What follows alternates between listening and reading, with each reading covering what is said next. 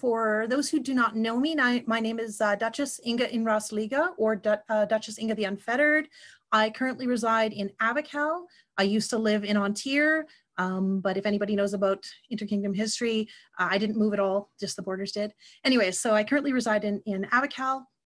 Uh, I am speaking today about the Haithabu pants because of a very specific set of questions I've always been asked. I make these lovely poofy pants and people are always asking me, how do you make them? Because the pattern that's commonly found online is a little fussy. So before we actually dive into uh, my class, I wanna give you a couple of sort of uh, riders on this content. First of all, I am not a costuming laurel. Uh, I'm a laurel of, of uh, scribal arts, uh, to be precise. I am an, a very devout Viking everything enthusiast, but I'm not, in fact, uh, a, a, laurel in this. Um, also, this in, is not intended to be a, a, a research heavy presentation. What I want to do is show you how to make some really awesome pants and show you the history that is behind that. Uh, so just to, to give you some sort of framework for the presentation today. So in order to dive in, I'm going to share with you my presentation and we'll start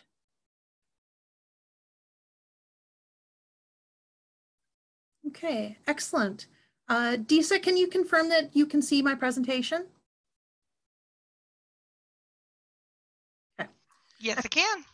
Lovely. Thank you very much, Disa. Excellent. So uh, let's get started. So much ado about Haithabu, making Viking pants based on the Haithabu find. Uh, for those who are unaware, uh, is in modern name uh, naming uh, called Hedeby, um, and it's currently located in Schleswig-Holstein in Germany, but it was at this point in time uh, of history was part of uh, Denmark or the, the Viking lands as opposed to um, held in, in, in any other uh, you know, it wasn't part of Germany at that point in time. It's really just right across the border. Uh, the other thing I want to mention as I go through is that unless otherwise noted, the photos are in fact mine. I've had the great pleasure of traveling all through Scandinavia and taking pictures of a bunch of these very cool things, including the Haithabu pants. So what are we going to do today? Today we are going to uh, talk about the evidence for poofy pants in the Viking Age, I'm going to show you some pictorial and some literary evidence that suggests that they did in fact wear giant voluminous crazy pants. Uh, we're going to talk about the actual fragments that this is based upon because there are actual Hedeby pants that this are, these are based upon. We're going to talk about the pattern that I've sourced specifically for the version that I make and then other pants uh, designs that are found uh, in Scandinavia before and during the Viking Age that inform that design. I'm going to talk about how to scale it to fit, and I'm going to then actually show you how I assemble the pants, not in real time, because of course watch me make a pair of pants would be pretty boring, but I've got some lovely little cutouts to show you the order of assembly, because I find most people, uh, they have no difficulty finding the pattern, it's actually figuring out how to turn it into a pair of pants that becomes the challenge. I'm going to talk through some of my uh, sort of recommendations in terms of order of assembly, uh, the way to finish it, basically all the elements that I think help them turn out well.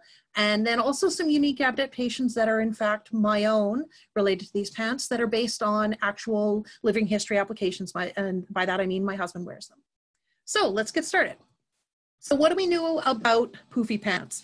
Um, there are lots of excellent pictorial images uh, found in stone, carved stones, as well as figurines.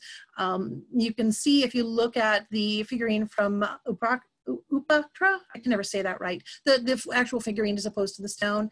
Um, he's got very, very fancy uh, poofy pants. Probably for anyone who does Viking reenactment or, or Viking in the SCA, uh, they're probably pretty fam familiar with these kind of big, loop, big loopy, uh, giant volumes of fabric pants. Um, on both of the rune stones, you can see again, uh, the Broas particular, you can see uh, definitely a very poofy and clearly not going down to the ankle, but rather to the knee. And that's kind of important. They're not a big full pant that goes to the ankle, uh, but to the knee length. And then the uh, slab from Gotland uh, is uh, shows a little bit more of a straight line. Um, hard to say whether or not that designates a different type of pant, but again, interesting, you know, interesting because it shows them ending at the, the knee length and definitely showing a pleating. In terms of other sources, the Oseberg tapestry uh, from, that's found in Norway shows a bunch of fellows clearly wearing very, very wide pants that go from a narrow waist to a very wide profile at the bottom. Now, I've just given you a few samples. There are oodles of, of examples of this sort of profile found on runestones in particular, but also on other sources. But I just want to give you a bit of an idea that uh, the big crazy pants you sometimes see the Viking fellows wear, you actually have that profile, that, that, uh, that silhouette has a basis in history.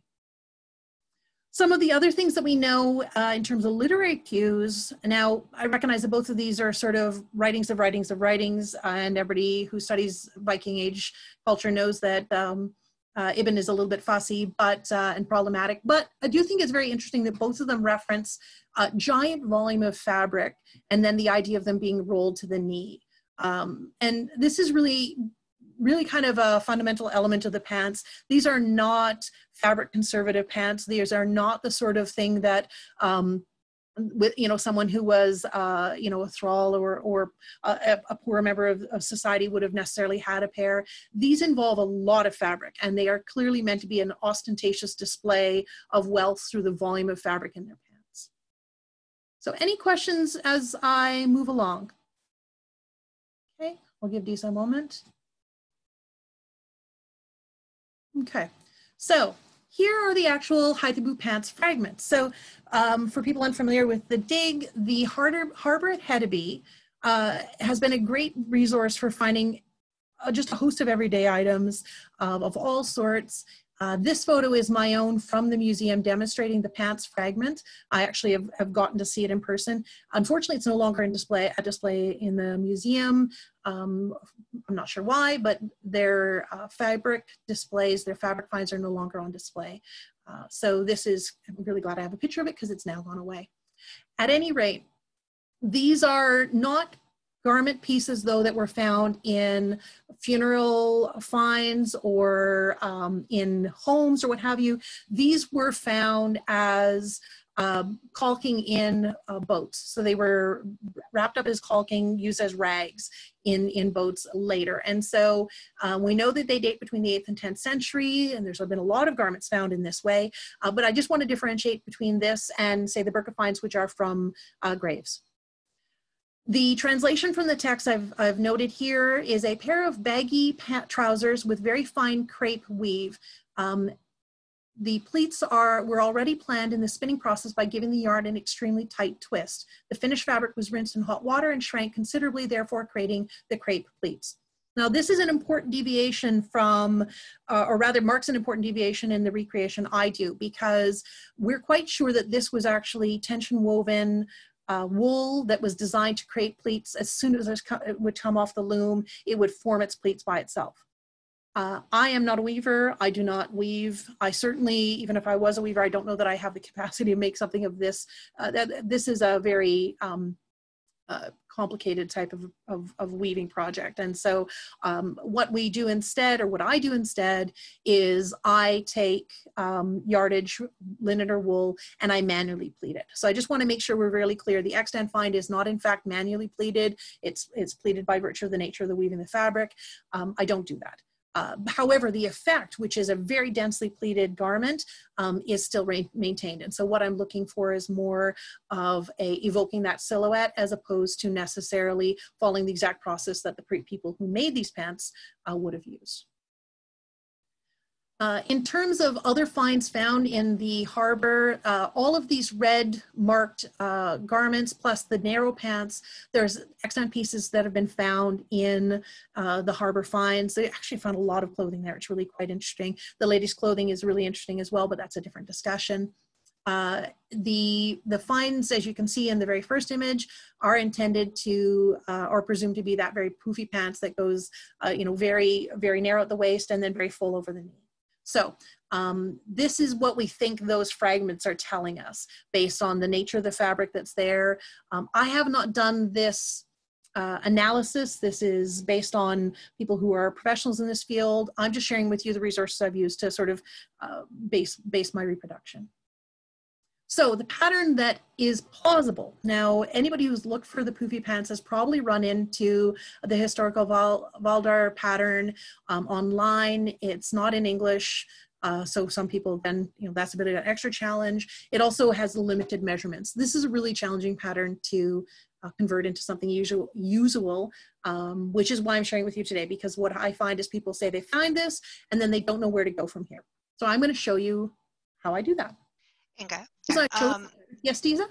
Uh, so does that mean that the cuff of on the end of the leg is modern? Um, the cuff on the end of the leg is modern. Yes, it's a it's a um, we don't have enough of the pants to presume that. Um, so that is that is a uh, that's an adaptation.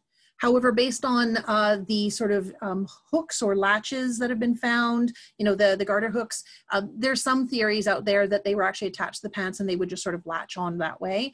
Uh, the In order to retain the pleating, though, I do pleat it into either a, a knee cuff or a leg cuff, and I'll show you the difference between the two. Uh, somebody, somebody else mentioned um, they wonder if you could recreate the effect by uh, taking a very finely woven wool and shrinking it and fulling it. That's entirely possible. I think um, again that's that is that is a little outside of my skill set. I've seen other people do this where they they actually take the wool and and and uh, and expose it to steam or, or hot water to to get it to retain those pleats. Um, the challenge with that is you do result with a with, result in a garment that tends to be really really dense. And um, you know what I think most times we're looking for, especially uh, as reenactors, we're looking for pants that are a little bit less hot than uh, what you'd get as a result of that. Uh, but I think that's absolutely valid, and I would hardly encourage you to, to give it a try. So does that answer the question? Okay. Uh, so the reason why I chose this pattern is two things. First of all, uh, having traveled uh, throughout a lot of the museums in, in uh, Scandinavia, I've been to uh, I've been to Sweden, Germany, Denmark, uh, and Iceland and of course uh, you've seen most of the museum finds. The only place i haven't been i've been to finland as well my apologies. And i've been to norway but not to the part where they have a lot of the clothing finds. So i've just really been all over scandinavia. Uh, but when we see the clothing reproductions done in the museums a lot of them use this pattern. And i i that doesn't necessarily mean it's right um, but it's one that that when they're doing when they're dressing the displays they seem to use this this style of pattern so it intrigued me from that perspective also a lot of reenactors that i know in europe tend to wear this sort of pant again that doesn't necessarily mean it's accurate but it made it interesting to me uh, the other thing though is that i feel like it fits the fragments reasonably um, and it's consistent with other pants finds. So, and I'll, I'll, get into that in just a moment. But you know, the the way that they have approached this pattern is uh, you know, actually is surprisingly fabric conservative once you accept the fact you're making giant pants. Um, the uh, the the design though, the way the crotch and the and the butt is done, um, really fits with some of the other the other pants finds from from Scandinavia. So here are some other pant patterns that I feel likely informed the design. Um, uh, really, really quick, if this is okay. Yeah. Um, somebody asked cotton pants versus linen and wool. One of your sources mentioned cotton, which I didn't think was used as much in Scandinavia at the time.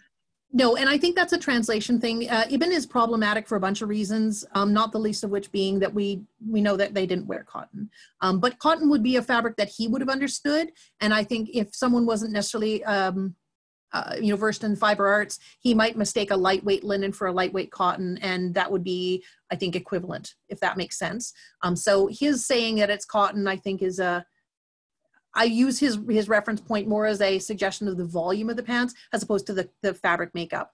Um, the accent ones are, are wool. We know that they made a lot of garments out of linen. I think reasonably these both would be could be made, and certainly I do make them out of linen or wool. Does that answer your question? Just a yeah, thank you. It makes a lot more mm-hmm. sense.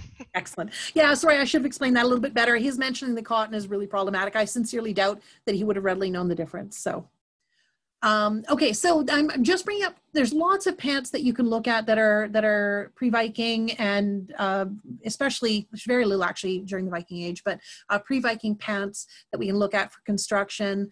Um, what's interesting about the Thorsberg is well they are well before the Hedeby the Haithabu pants. Um, they are from the exact same region, which is the Schleswig-Holstein. So I find that kind of interesting. And if you look at the way the pattern is designed in the second image, it does very much the exact same thing, which is a square seat a, uh, a long strip that represents the crotch, a waistband, and then a leg that is designed not as a tube, but rather that wraps around and connects to the seat of the pants. So to me, that's a that's a really interesting connection to the design that's that's um, in the um, in the pattern that I'm I'm using. So I feel like it adds a little bit of uh, at least plausibility. Again, like I said, this is not exhaustively researched. I'm just looking for something that is a a plausible pant, given the limitations of the finds in the Viking Age when it comes to clothing. I mean, honestly, most of what we're doing is guessing. So uh, think of this as a moderately informed um, guess. Uh, I include the Skjoldehamn pants because they're also interesting to me, and they do actually date from the same time period as the Haithabu pants, or just slightly after, um, albeit they are from Norway. But again, they're they're believed to have that similar sort of square seat, and then the uh, the crotch that comes uh, from the bottom through to the front and attaching to the waistband, and the legs attach on. So a little bit of a slightly different construction. These both are designed to be a narrow leg. Obviously, the Haithabu Haithabu pants are designed to be um, as I said, giant and poofy. Any questions about the patterns that I was looking at? So here is my translation of it. First of all, I've included on the screen um, my translation of the actual uh, pattern from Historica Valdr, uh, because of course it's not in English. And then what I've done is I've redrawn for you the actual resulting measurements because they don't really give measurements. They say it's scale one to one or one to one to 10 rather, and they give you how the pieces sort of fit together, but they don't really give you much else beyond that. So what I've done is I've gone through and based on the scale, um, made adjustments and then actually use this as a functional pattern to see how it works. So um, you can see I've drafted out all the different pieces. I've included the calf. And so the reason why I mention that is because from a practical standpoint, a lot of um, a lot of reconstruct re reconstructions of this intend or include rather a tube that goes right to the ankle. Uh, from you know, wearing it in cold climate or wet climate, that's pretty handy. I don't have any evidence that that's what they did. I really don't. It is, however, a very practical solution, and I'll so show you them being worn to give you an idea of what uh, that means. Um, the so the little uh, square piece, or you know, roughly square piece on the side is the bottom, is the is the butt, and then the long straw, strip is the crotch. You'll see I've noted a point A on the uh, odd shaped, uh, which is obviously the leg, and then the crotch, that's where they connect. And I'll show you in a moment how that all fits together. Um, somebody asked, uh, do you think that that's plausible, the, the you know, knee to ankle um, due to practicality? Well, you know, what I do find is that, um, and so I just have my husband say so from this and other reenactors we know, but having that linen tube down to the ankle is really comfortable from the standpoint of if you put leg wraps on top of that, um, or, you know, the cross garters or what have you, it makes a really nice, um, a very comfortable fit that, make, allows the cross garters or the leg, uh, the Wickelbänder to stay in place very nicely. Uh, you know, it works really well. And, you know, given that they have narrow legged pants, you know, to me, it's not a big uh, leap to, to say that that's possible, but I, am just a guess, really, honestly. Um, but like I said, the profile of the bottom of the calf mirrors the bottom of the Skjoldehamn pants, right? So it's not as though this is a, you know, a completely foreign uh, profile, if that makes sense. Um, and the thing that I do like about this design is it matches that concept that you see in the Thorsberg where the leg actually attaches to the butt. So there's not a single seam in the crotch like there is in modern pants, but rather we have a seat and a, and a defined crotch strip and the legs wrap around that. And that, uh, what it results in is pants that very, very rarely actually um, split the crotch. My husband is not careful with his garb. He's we camp and do vacation every summer where we spend uh, you know a full week pretending to be Vikings and doing things like building a pit house, which is I think very cool. Um, and he works in these pants, so uh, the fact that these are comfortable to do things like you know uh, climb up in the rafters and uh, hammer up boards or um, you know let, sit on the ground and and do uh, rope craft. You know they're they're very practical pants, aside from just being fantastically ostentatious. So. Uh, um, somebody mentioned uh, that they they they're wondering if the uh, if that if that tube down to the ankle would draw water if they were on a boat. Um, And then they said Viking board shorts. well, so I, what I'll show in just a moment is how my husband wears them when he doesn't want to worry about them getting wet. Because part of the thing you'll notice at the bottom of the the calf, I put calf widest point. What I do is the tube is not made narrow right to the ankle. It's made to be like a loose, like a pajama pant almost. And what he does is he rolls them up to the knee and then puts his garter over top of that, so that if it is wet and he doesn't want them to get damp, you know, if it's a very dewy day or what have you, he can roll them up as well and uh, I actually no longer make his just with the option two um, cuff because the long cuff can work as both, and then he has pants that do double duty. Does that make sense? That makes sense to me.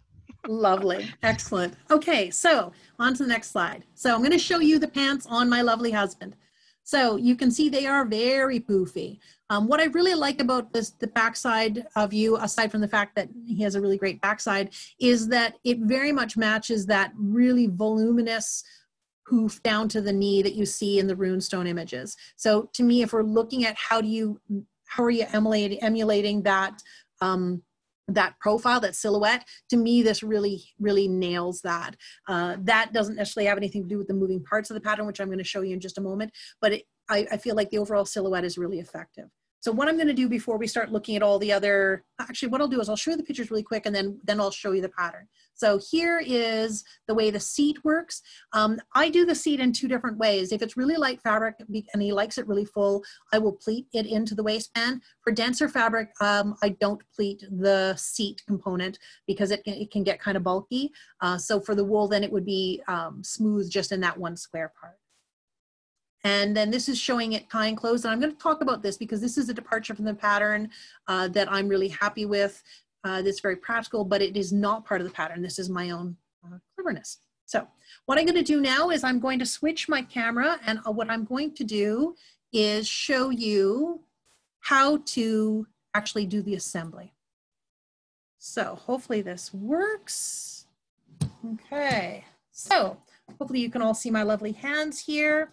So what I have cut out in paper, construction paper, is two giant chunks that represent the pants. So I've got one leg, uh, the crotch area. Oh, let me try that again. The crotch area, the leg area, two pieces. Then what I have is the, the actual crotch strip. I have the seat. And then I, I have the leg, the waistband, and the cuff. So here are all the possible pieces that I could show you. So this is the part that everybody gets really confused about. How do I actually make these be pants? So the key component, oh, let me flip this. I've actually lost my little dots. You can see I have got little dots on the legs and on the crotch and on the seat. How this works in assembly is you actually start with the crotch. So what you will do is join this length to one leg. And that then will give you a crotch. You will then join the other leg to the length of the crotch. It's going to seem very strange. You will then take that piece and you are going to sew the seat in.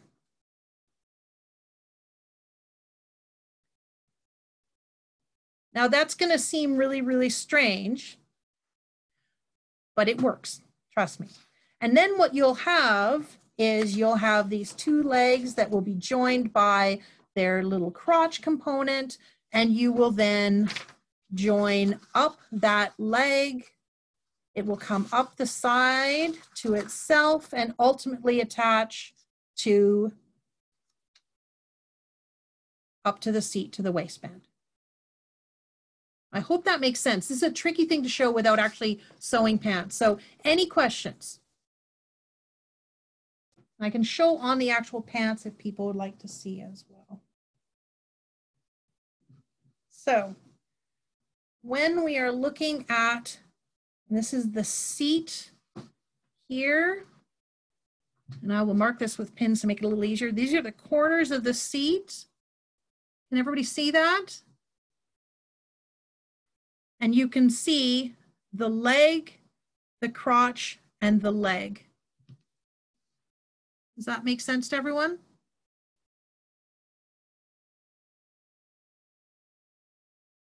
Okay, perfect.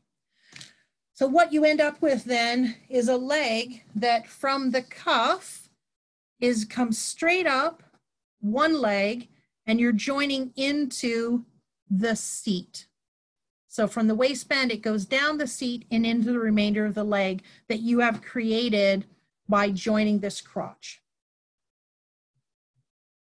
Okay, any questions about that? I'm not seeing any yet. I'll let you know. Okay, perfect. So just one last time then for anybody that might have missed it. Oh, did I lose my, I lost my crotch. Where's my little teeny piece of paper that's my crotch? Oh goodness. Um, okay, that does make it a little trickier. Oh, there it is. Perfect. So again, you're going to have one leg. You are going to sew the crotch piece all the way up and along the crotch, the, the not the leg, but the crotch part of this leg piece. Then you are going to add in the other piece. And what that does is that then creates the front of the pants. So this is your front of your pants.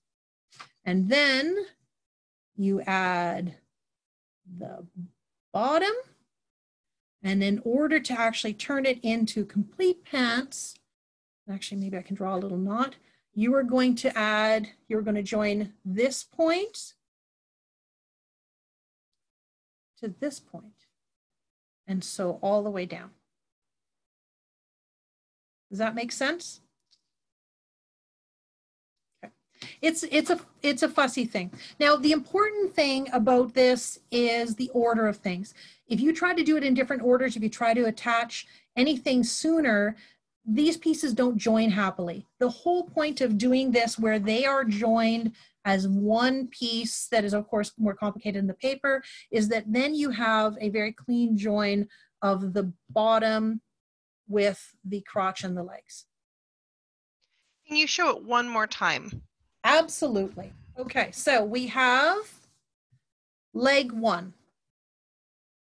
This is our joining point. There's a little dot. That is the spot marked A on the pattern I've given you. We're going to add in the crotch piece at the spot marked A. We're going to sew that little guy all the way up the inside of the crotch. We are going to then join the other leg at that point marked A and sew it up the crotch as well. Then this will, you will then have a complete piece. The, the math on this, you're gonna wanna add in seam allowance obviously to make this work, but the math then is that these three pieces combined join with the seat of the pants. Does that make sense? Yes. Um, somebody asked, how do you decide the measurement of the curves of the leg? So this is, I won't, I won't lie to you, this is the tricky part. If you look at the pattern that I've given you, uh, let me see if I've got it handy here. Um, I've given you the my rough measurements. You can see I've included, you know, this height should be 11, 11.75. Uh, this height should be 13. Um, all of these measurements in terms of the shape are based off of the uh, off of the uh, pattern from uh, the Historica Valdar site.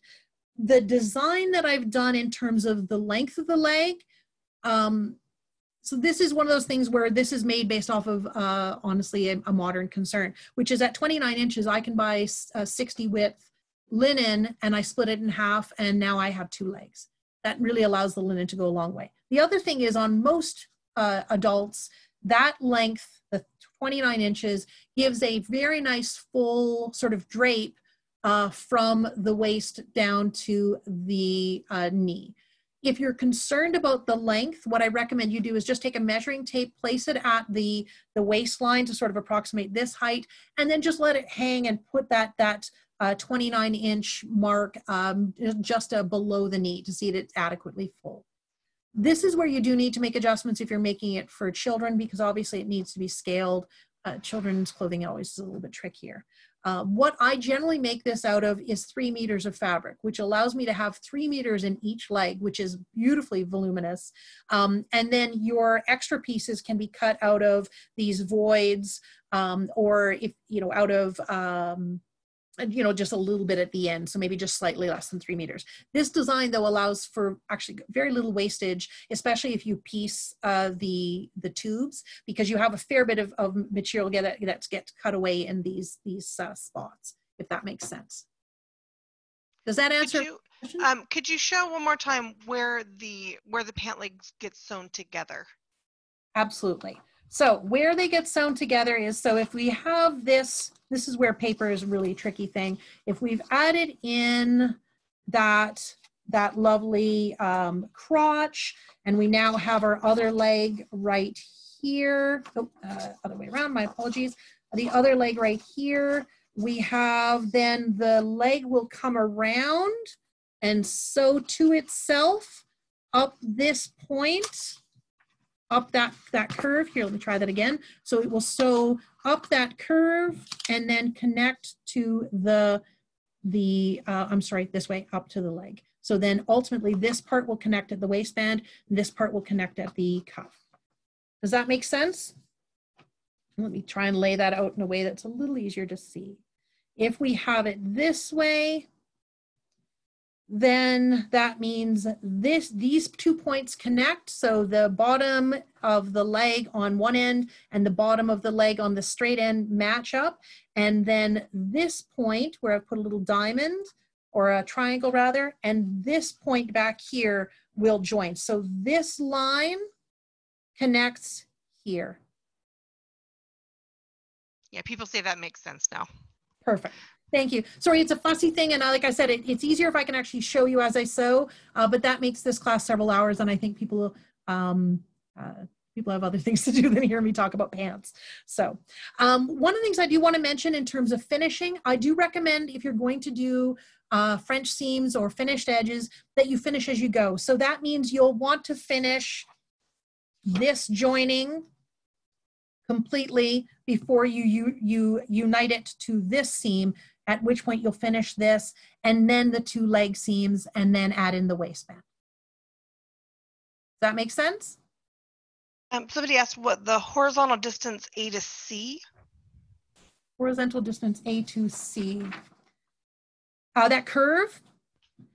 Um, so the, the height, let me put this back so you can see it the right way around. I've noted the height honestly, my best recommendation to you, if you can, is take the pattern I've given you that is available for from the course, where that is directly from the Historica uh, Val site, and just take it, photocopy it, and blow it up. Oh, is it? Am I upside down? Am I? Is that correct now? Now you're right side up. Yeah. Oh no, I'm oh, sorry about that. My apologies.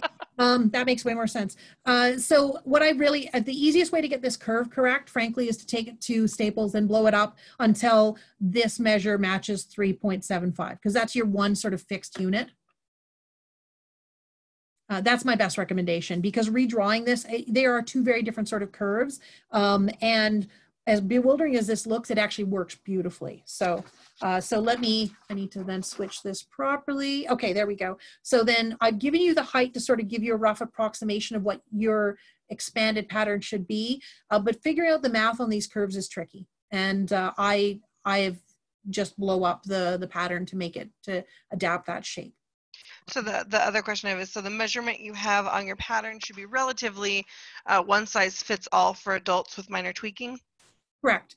Um, the big difference that I make is the waistband and the size of the calf.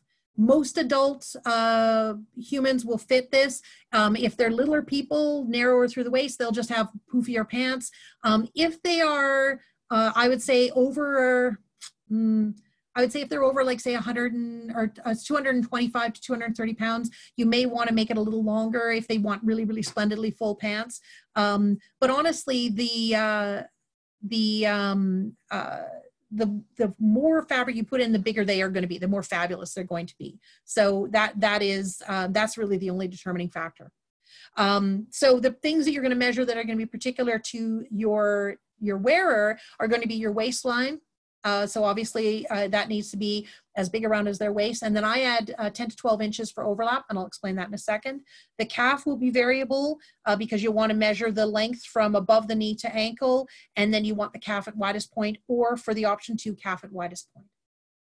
Otherwise, it is a relatively one size fits all. And I have fit this on people of varying, greatly varying sizes. Uh, if you want to stick to the being able to use half of 60 inches to make your uh, pants and you have someone who's a bit longer through the leg, you can just make the waistband deeper. And I've actually done this and had some great comments about how the deeper waist uh, for maybe the more full figure gentleman gives them a little bit of um, uh, you know, smoother profile. So a little, little bit of a Captain Kirk maneuver, if that makes any sense.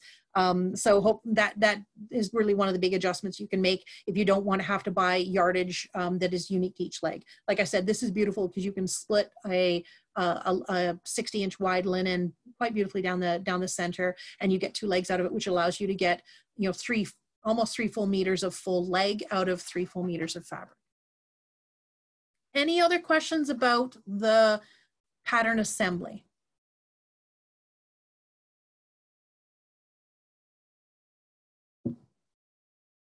The grain direction. Um, I lay uh, the grain because I'm usually using the meterage in in uh, the full, the, trying to use the full width. The grain is from top to bottom. Um, and, and, I generally cut the others that same way. Although sometimes with the calf, I fudge it. It doesn't seem to me, uh, doesn't seem to be that, um, that big of a deal if there's a little bit of a twist to it. Uh, I see somebody's asking to see the back seam on the yellow pants again. Let me clear my space a smidge. Make sure I don't lose all my moving parts and show the back seam again. So on the yellow pants, here is the butt component let me lay this out smoothly. I'm going to mark the corners so you can maybe see it a bit better. So those are the corners of that, of this piece. So that's what you're looking at right here. Okay. Then what you're seeing here is where the crotch joins in and where those two pieces from that leg are connected. So this is this is that piece right here. Does that make sense?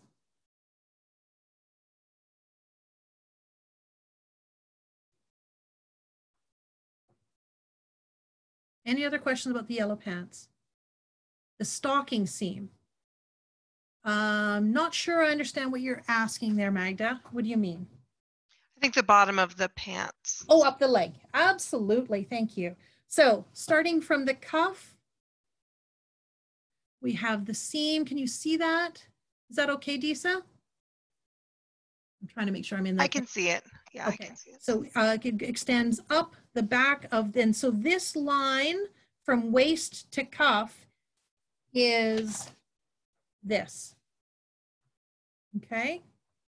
And as it comes up, it then joins with the other piece of the leg that has come around. So what we're seeing here in the seam, it comes up from the cuff, it actually joins with the other part of the leg. So what we have right here is an intersection of the leg component, the butt, and the other side of the leg. Does that make sense? I'll show you the inside too, because this shows the order of construction. Also I get to show off my nice seams. Um, so you can see here that the three pieces were joined in a single piece that was then united with the, uh, with the, the bottom. Does that make sense? Yes, I said yes, thank you. Excellent, excellent. Okay, so so that is how you, uh, I'm gonna switch now back to me. Just a moment here. Hello, everyone. Okay, so um, then uh, what you've got now is all of those moving parts in terms of the order assembly, and that's the part that I found uh, through trial and error to be really quite, oh, I need to move back a little bit here. There we go. Um, that's the part that I found through trial and error to be really tricky because it's such a um, counterintuitive way to assemble things. But when it comes together, it's, it's actually really splendid. Now, what you'll have when you join all these parts now is two absolutely gigantic legs. It's going to look like the largest pair of board shorts you've ever seen. And what you need to do is now pleat those volumes into a waistband. Um, if you're not used to doing pleating of this kind of volume, it can be really cumbersome. So I have a trick that I want to share with you that will help make it a lot easier. So what I do is I call it doing it by halves. So what that means is that you're going to have your set waistband, and I'll, I'll show you my set waistband, and you're going to have your great big, huge, long chunk of fabric, goes on forever that you need to, to fit into it. So what I do and I guess actually I'll hold this up to the camera so that makes it easier, is what I do is I fold my waistband in half and then half and then half, resulting in all these little marks that show um, sections of the pant. And so if I've folded this now twice, so I've got three marks, I would take the length of my fabric and do the exact same thing and fold it into three chunks. Okay, and then I would point, pin rather, those pleated points. Maybe I'll switch to my other camera for this. Okay. Then what I will do is I will pin those, those little folded points, and this is lovely on linen, into the waistband. Thereby sort of breaking the volume of the pants into manageable chunks. Does that make sense? Can everybody see that? So what you have is then the volume is now, oh, there I go. Uh, the volume is now divided into sections onto that narrow waistband. And then I just repeat that. So I find the halfway point in the, the volume component, the fullness of the leg, and I find the halfway point in the waistband and just continue that. And then once you've got it to a smaller chunk, you're just going to do little tiny finger pleats. The beautiful thing is that because this is uh, just so full of pleats, you, it doesn't have to be precise. It's not like when you're making, um, you know, skirting in a late period gown where if the pleats aren't even, it's really going to show. You've got so many little tiny pleats here, and I'll, I'll you can see how tiny the pleats are, um, that it doesn't really matter. And so it, it, it's kind of nice. You don't have to necessarily be too, too fussy. I do pin, pin each pleat as I, as I stitch it. And I, I'll be honest, I machine stitch this down to trap the pleats before I go and do the rest of the assembly um, because this is, this is fussy. So does that uh, joining it by halves make sense?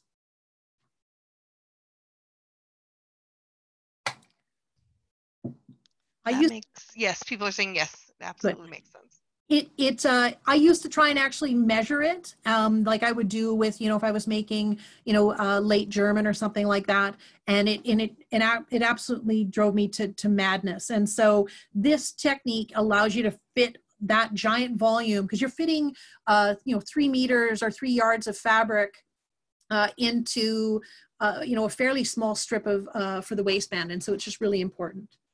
Uh, define finger pleating, please. Does the directed fold matter?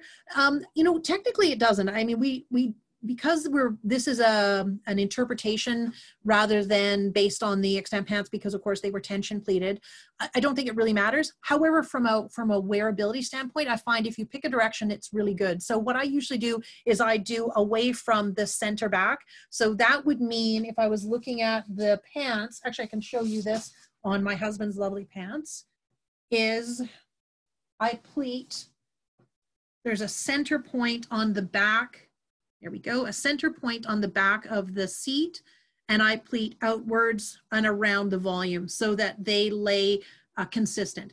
Um, I, I, arbitrarily just decided to do this in the back. You could do it the opposite and have them pleat towards the front. Uh, but what I do find is picking a direction for each leg allow is nicer for the wearer. It tends to give a, a little bit of a smoother profile right around the waist um, because certainly, you know, as you can see from the pictures when David's wearing them, that you don't want to have this giant bulky uh, chunk of fabric. So does that make sense in terms of how to pleat them? Yes. Um, somebody asked, would it be plausible to just drawstring the waistband and have the folds go that way? I know it creates more bulk, but is it historically possible? You know, um, given that we know that there's, uh, you know, the loop um, waistbands found on the Thorsberg, um, you know, drawstring pants are entirely a practical solution. Could you do them with drawstring? Absolutely. Um, the thing I find is that if you do it with a drawstring or if you do it where you just run a, um, a thread and then then pull the fabric, it just ends up bulky. And and because the profile on this is meant to be, um, I mean, ideally you can actually have that waistband, waistband or waistline shown. I mean, this is a level of, to me, where you're looking for that really clean line that you see in the in the uh, in the images where it's very narrow at the waist and then goes to that very full pant. So I'm gonna switch back to where you can see my face because my gestures don't make any sense without my face. um, but I think you know what we're looking for is that very clean line and then out for fullness. That and um, everybody I've made them for has said that they really appreciate the finger pleating because it's very smooth and it's not bulky. Again, if you're you're wearing this much fabric around your waist, having it lay smoothly as opposed to being all bunched up is much nicer. Um, is it necessarily historically based? You know, again, we're finger pleating um, as opposed to it being uh, tension woven, and so it doesn't really have we, we don't know and so it's not uh, it's not the sort of thing where um, I can say that they would or would not have done it. I do know that the finger pleating results in a really smooth profile and that, uh, you know, it looks snazzy. Okay, so are there any other questions at that point? Um, is everybody clear on finger pleating? I had somebody ask and I wasn't, I wasn't sure. So just really quick then, finger pleating is very simple. I just do sort of the, the depth of my, my finger and I just, uh, oh, hang on, I can't, I'm gonna switch my other camera again. Thank you for your patience, everyone. Okay, so what I'm doing with the finger pleating is I have it laid flat. I just do a little tiny bit, the, the depth of like my thumb tip. I fold it on itself and then pin it into place. And then do the exact same thing where basically I fold it to the other pleat. So I hope that you can see that. And then would pin that into place as well. You can see that lays really nice and flat. Okay, any other questions about the pleating?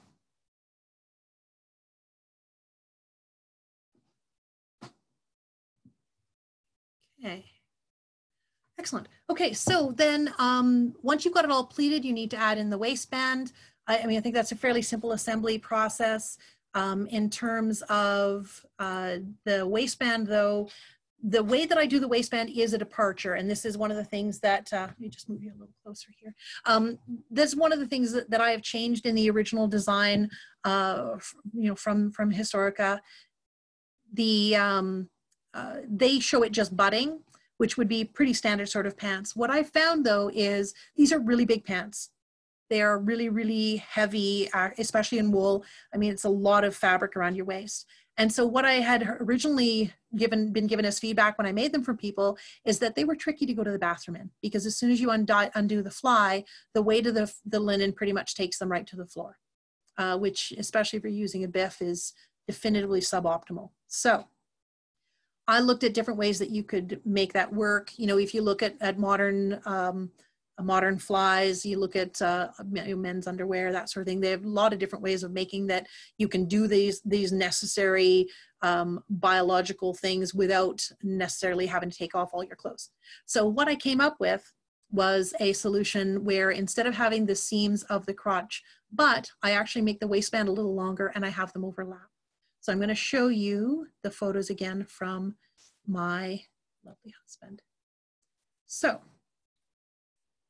so what you can see here is there are two, two sets of ties. So I've created simple fabric ties. I just use the scraps and it ties at the hips. Now this does two things. Um, uh, one, it actually allows the pants to be a little forgiving if you put on or put on or lose weight. That's kind of nice. Um, but what it means is the bulk of where you're joining things, where you're tying it shut, isn't right at the center line where your belts, buck, belt buckles, and what have you would be. So it removes some of the volume to the sides, which is quite comfortable. What it also does, as you can see in the second picture, is when you untie that first tie, you have a lovely, very handy opening that allows you to keep all the volume of the pant nicely snugged up around your waist and still allows you to, and he didn't demonstrate, uh, you're welcome, um, but uh, allows you to then do what's needed without risking your pants.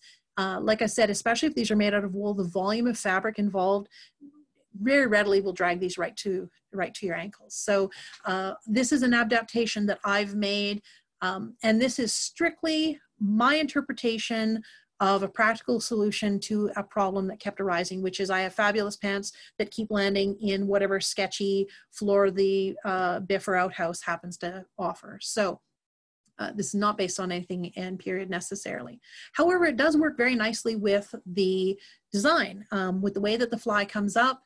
Uh, there, it always you always end up sort of joining the two legs because the the fly insert that little uh, this little piece here um, ends short of the waistline, and you end up just sort of joining the the uh, leg to the leg at the top. Rather than doing that, I just simply stop and I leave a gap, and it works out to be almost the same depth as a as a modern fly, which is kind of handy. Uh, like I said, that also allows for, um, you know, the very practical you know, wearing and what have you. Um, it also means the pants stay clean, which is kind of nice. But the biggest thing, like I said, is that because I do the overlap over to the hips, it means it's not bulky. It allows them to, you know, the Vikings tend to wear all those fabulous belts and it removes a lot of the volume that sometimes can happen at the, the center front if you have a drawstring waist. I mean, if you've ever done, you know, do drawstring pajama pants, you always end up with sort of that bulk of fabric right at the waistline and right at the front, which is probably the part we least want to have sort of lumpy. And so this sort of tucks the, the volume off to the sides, which is a little bit more forgiving. And then, like I said, because of the design, you can gain and lose weight and they still fit. Um, David has varied, I would say, probably 40 pounds in these same pants um, over the time since he made them and that I made them, and uh, they still fit just as comfortably. It just means the there's more tie in and uh, a little bit of a larger fly or not, depending on on the wearing. So, so a couple of questions here from people. Shoot. Um, so uh, it ties first on his left, then his right. Correct. first question. Um, and then I think you answered the second one. Does the overlap in the crotch make them bulky in that area? This is definitely where the finger uh, the, the finger pleating would matter because um, you're already worrying about fullness. If it's lumpy or bulky, then it's not going to lay smooth and it will give you that thickness. If you do the finger pleating, it doesn't. It lays quite smoothly. Now that said, if you know this pattern that I've shown you today, you can also just continue that seam right up to the waistband um, and use loops on the uh, the waistband like the Thorsberg or a drawstring. Those I've seen reenactors do that uh, and other other people who've made these um, and it seems to work very nicely like I said, this is an adaptation I've made um, out of uh, largely in, in as a result of having to deal with pants that come back looking pretty filthy by the end of the event uh, that have nothing to do with the dirt and everything to do with you know run-ins with the biff. So, um, so that th there's not necessarily like I said, it's not about this is a hit a a creative solution, but I also think that it's not inconsistent with the the profile and and that's kind of what I, I look for. Um, so somebody asked. Uh, this isn't on the pattern?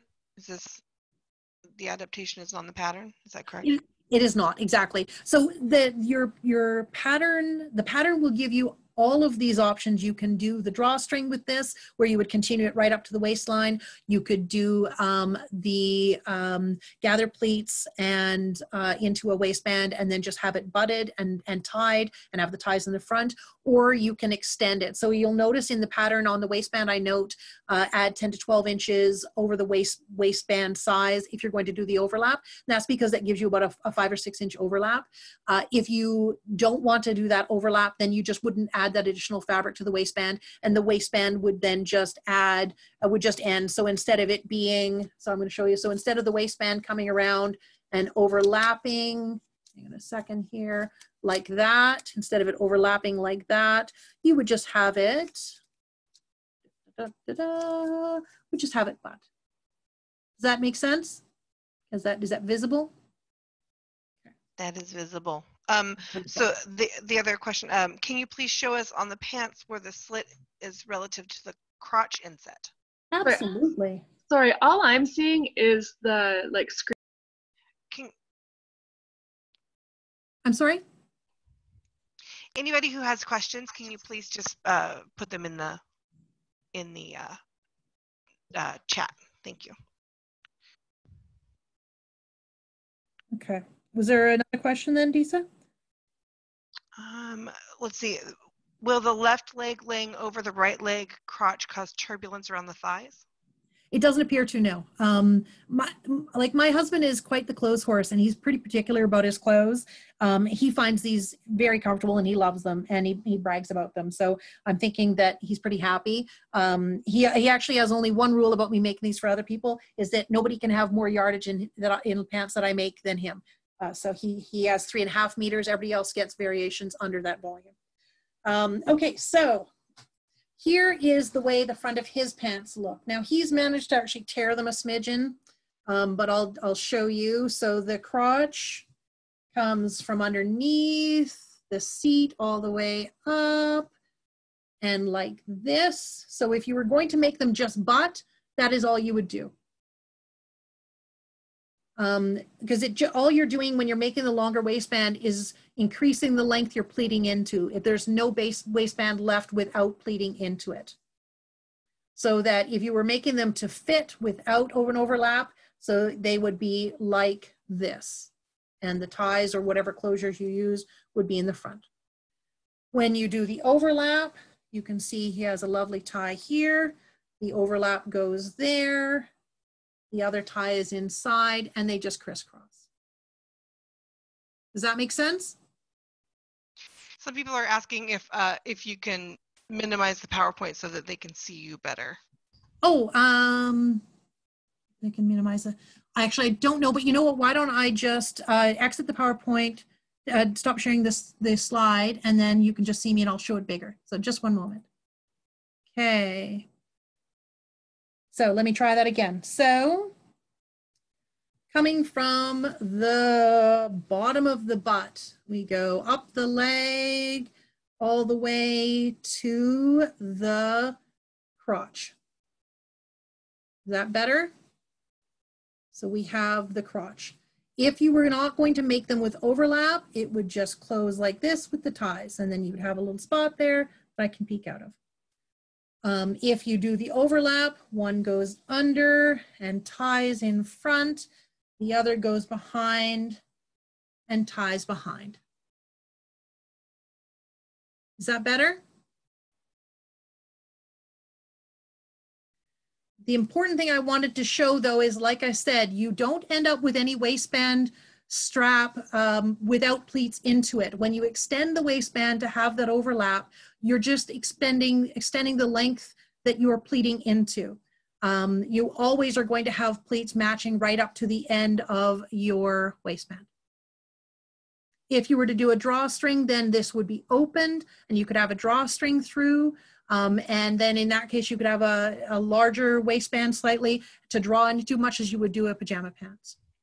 So the one side is the crotch strip and on uh, and the other side is just the leg, correct? Actually, the crotch strip on the, this design actually ends well before the waistline. So even if you make it so it butts, you can see the crotch line ends.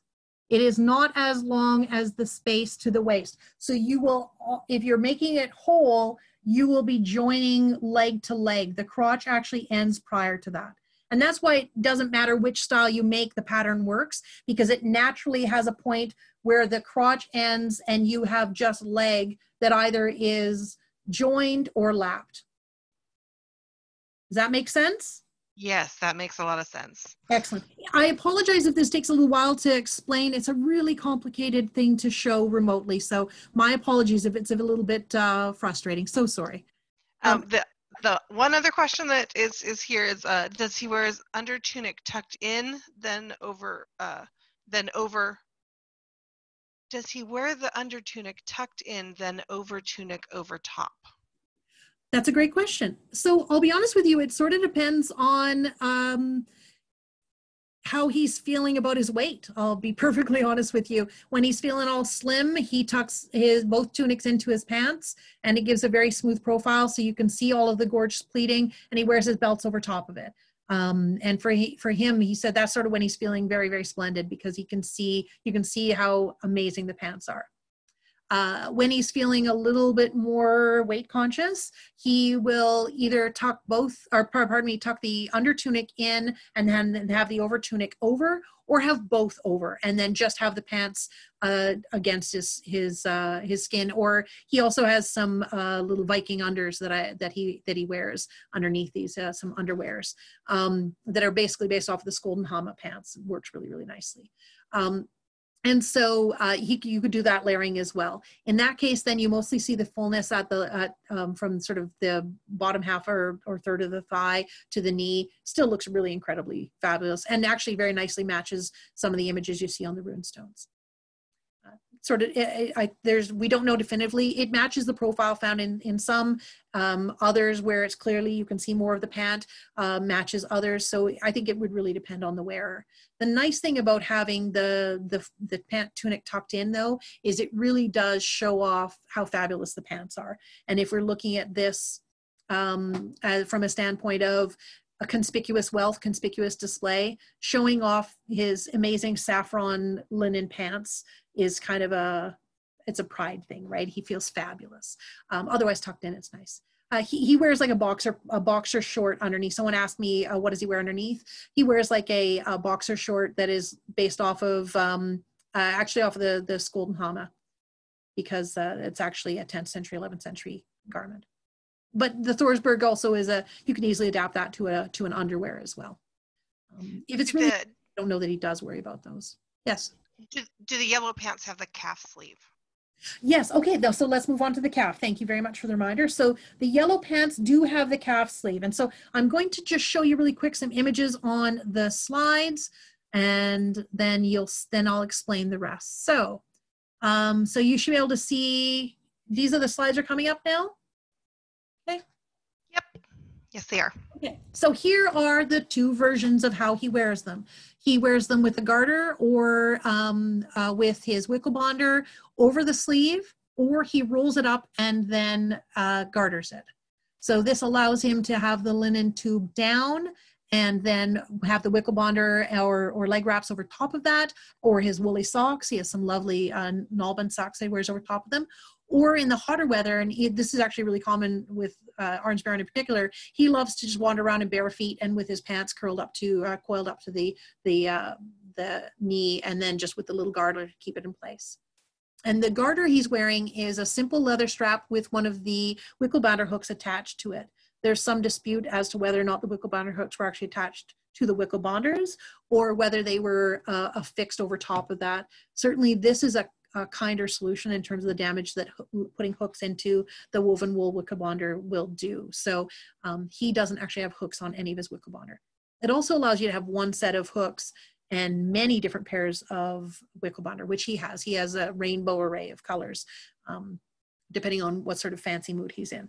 So the, the garter allows you to then have your gorgeous Wickelbänder hooks um, universal. You don't need to have eight or 10 pairs of those.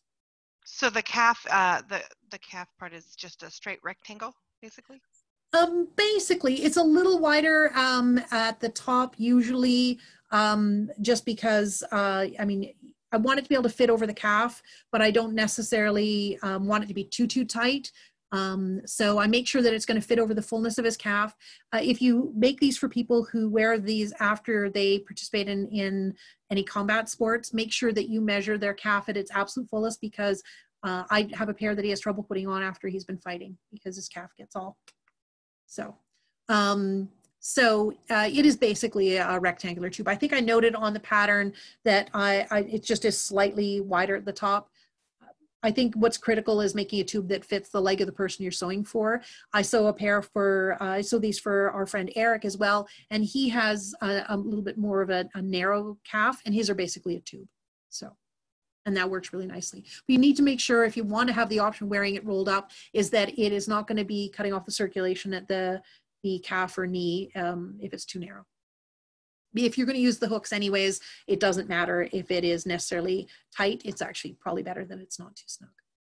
Okay, so, and what else do I have here?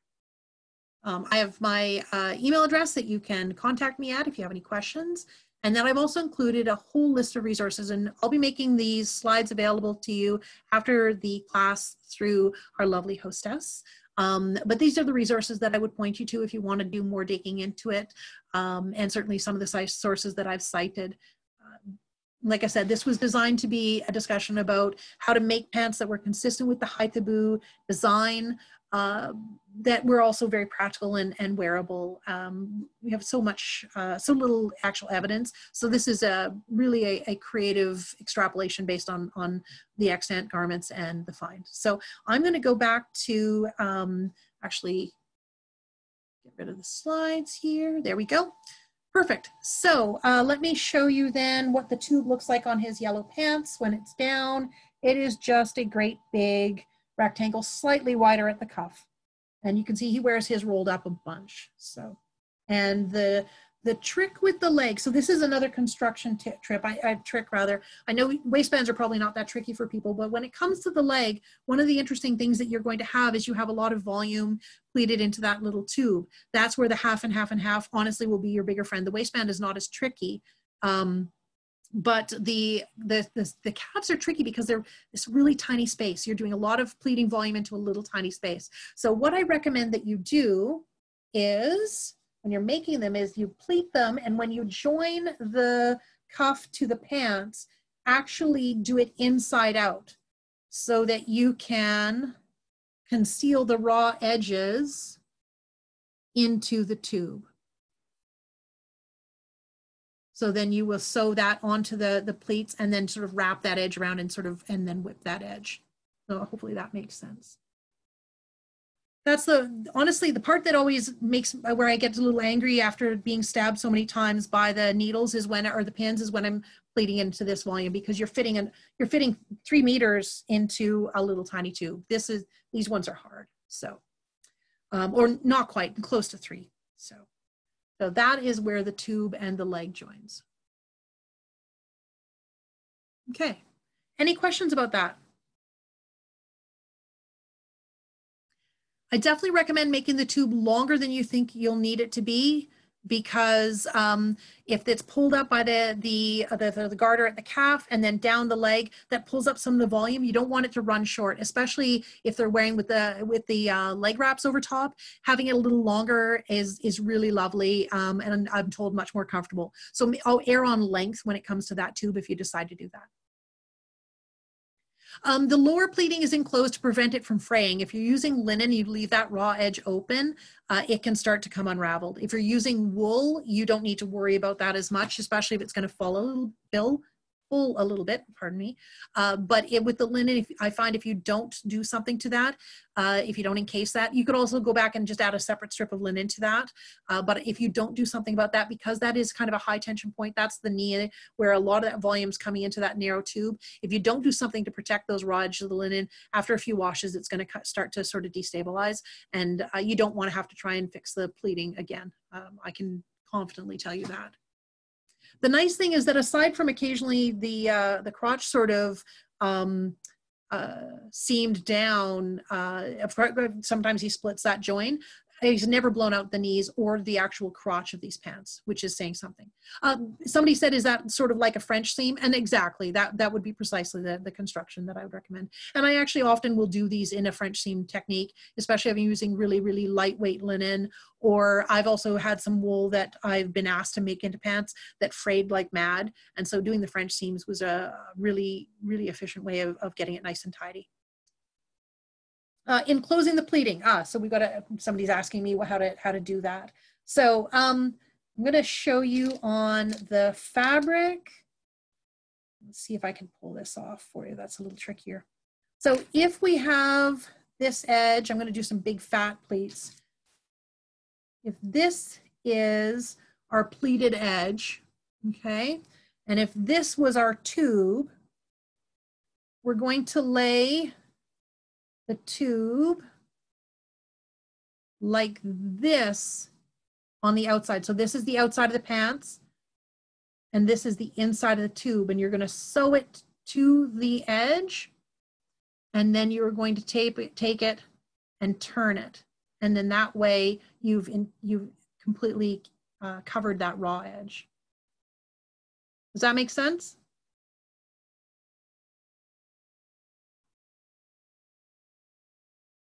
You can also, if that's too fussy, um, the first pair I ever did, I didn't worry about that. And all I did is just take a narrow strip of scrap linen and just attach a band over top of it to seal in the raw edges. Really, it doesn't matter how you do it. Again, this is one of our very, very much uh, a modern solution or an extrapolation of the pattern. I don't know how they did it.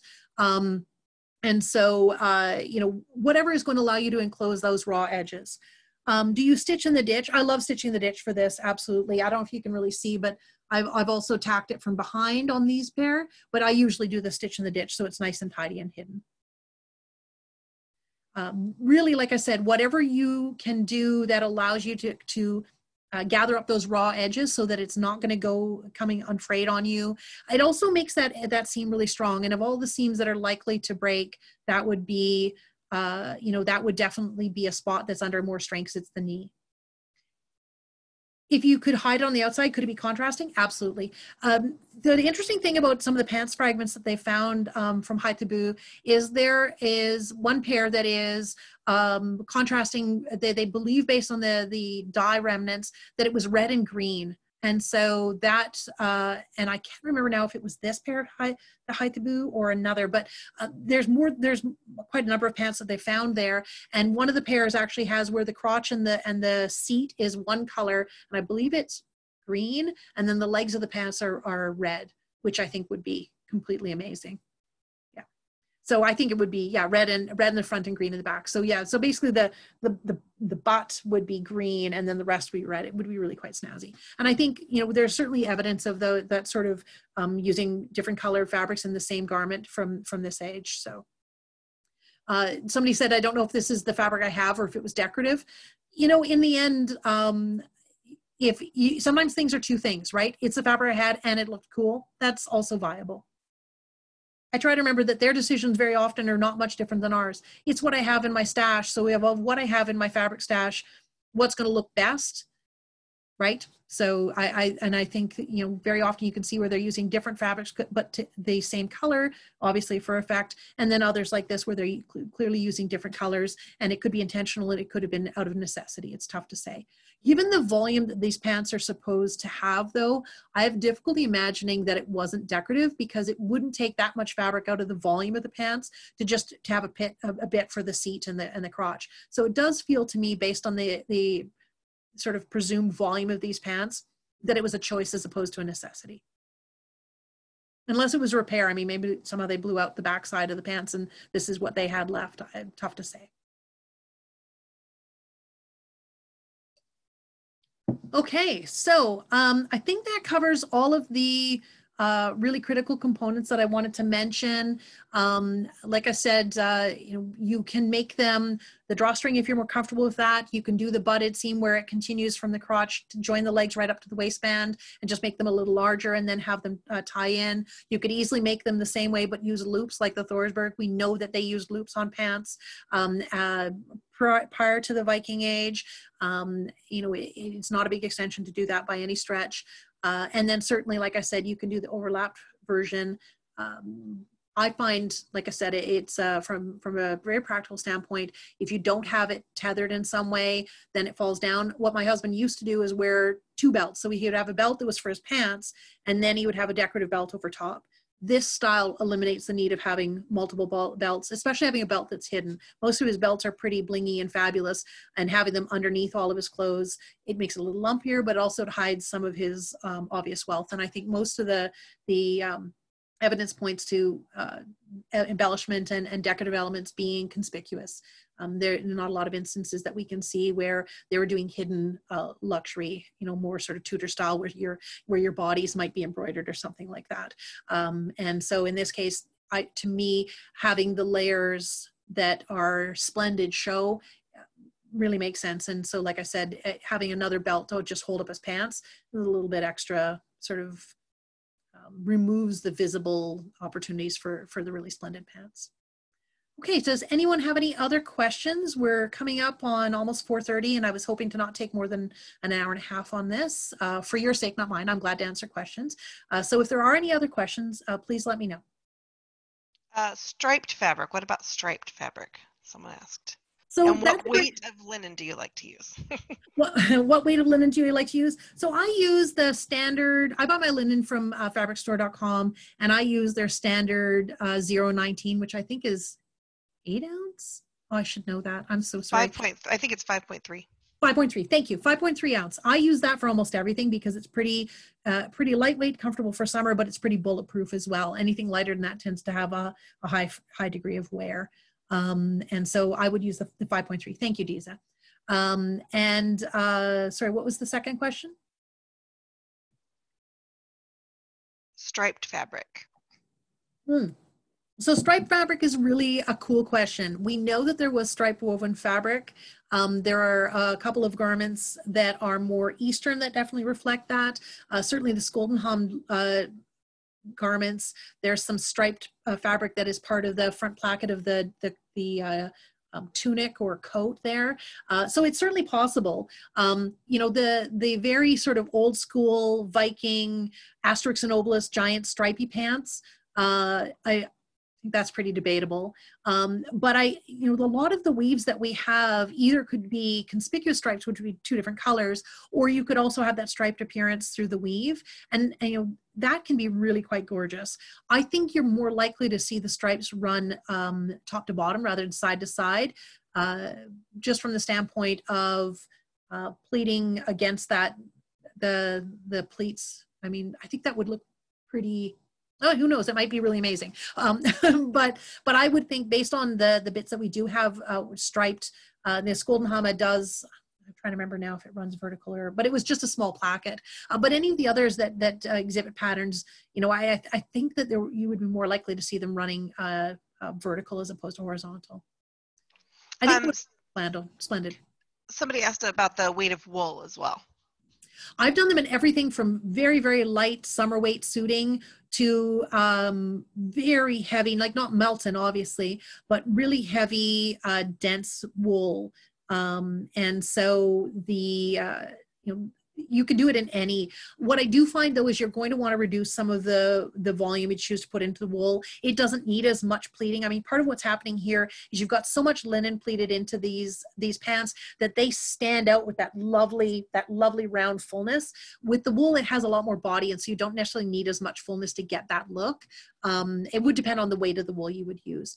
It can also be quite hot. I mean it, you you can end up with three three meters or three yards of, of wool tra- around your waist. That's not that's not nothing. Um, that said if you want really snazzy toasty pants um, you know my husband has a pair that are just about stand up by themselves and they're his when it's really really cold out of Estrella pants. So uh, they work out really really well. Um, if you were using the somebody commented that if you use the pleats or the pattern stripes vertically it would help with the pleating. Absolutely. Really brilliant. Uh, somebody asked if uh, these could be used for Russian or Varangian garb. So this is really tricky because we don't we have so little to go by. But certainly we see in some of the Eastern uh, clothing of very similar voluminous pants. Uh, given the the location, I mean, Haithabu was a, a big trade center. Um, the images that we see are all over, but definitely, you know, we see them in Gotland, which was you know was a was a major trade point. Um, you know, so I think it, it is plausible um, you know, there's some argument that pants are pants are pants, right? Um, you know, there's only so many ways to wrap fabric around your your bottom side. So, uh, but given the the um, distribution of images that we've we've found, uh, I think, and given the the areas where we certainly have found uh, extant pants that are within that sort of scope, I think that you know it, it's not improbable to see them in in the Eastern. But don't take that as a I said they're totally authentic because they're not. So, um, but I think it would be viable. Uh, the other question was about colors. Colors, we don't know. Um, I would say look to what fabric colors were likely found within um, the uh, the area that you are uh, recreating or that you're interested in. You know, there's lots of, of information out there about what are period appropriate dye dye choices, and I would definitely look at that. Um, there's lots of arguments about the poofy pants. A lot of people get really uh, feel very strongly about it, and I get that we don't have a lot of actual physical evidence, but there are so many images that show men in giant poofy pants uh, that clearly end before the ankle. I have difficulty imagining that they're just drawing fabulous pants and, and that nobody was wearing fabulous pants. So, uh, because there are, like, I could have probably pulled up 20 rune stones that show them. So this is not an isolated instance where we're trying to uh, justify fabulous pants based on a, on a, you know, a quote from Ibn and a, and a single, a single, uh, you know, drawing or what have you. That I could easily have pulled up 20. So I, I, I think, um, I think how they were necessarily designed, uh, then you know that is certainly and the pattern that I use, like I said, that's me in interpreting an existing pattern that that made sense to me. I don't pretend to say that this is the way that they definitively were made. I mean, until we find somebody actually wearing them, as opposed to the remnants found from uh, caulking in a boat, I think it's pretty problematic. Uh, but I think you know the silhouette works it's within the scope of extant patterns that, and, and designs uh, for garments that we have. I feel like they are a reasonable interpretation, which given what we have in terms of, of fabric finds, I think that's the best we can actually aim for when it comes to, to uh, Viking age clothing in particular. Any other questions?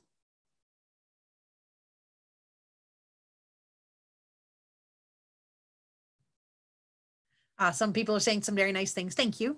Um, so if there are any other aren't any other questions, what I'm going to do is I'm going to wrap up now. Uh, I will be sending the presentation, the PowerPoint presentation to Mr. Stiza shortly so that you can access that as well. Uh, you should have access to the other documents that I'd sent her. Uh, if you have any questions, I'd included my email address on the PowerPoint and I don't do that lightly. If you have questions, I will answer you absolutely, more than glad to. I've also left my name on the screen as my mundane name because that's my name on Facebook. So if you want to try and find me uh, on Facebook, that will be the name that you would find me by. I don't use Inga on, uh, on Facebook. So I've left my name up there by intention. Excellent. So uh, if you have any other questions, then please reach out to me. Otherwise, thank you so much for joining me today. And I hope that uh, my husband's fabulous pants make sense to you now. So thank you so much and have a lovely day, everyone.